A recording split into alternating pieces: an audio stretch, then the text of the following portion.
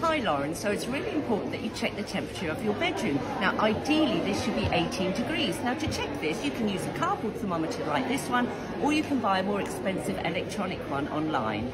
So for temperatures between 17 and 20 degrees, it's recommended that you use a 2.5 tog bag with a long sleeve sleep suit.